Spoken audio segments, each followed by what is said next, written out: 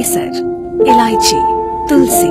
जावित्री जैसे पुराणों में पाए गए मिश्रण से तैयार पंचामृत सदियों पुराना स्वाद सेहत के साथ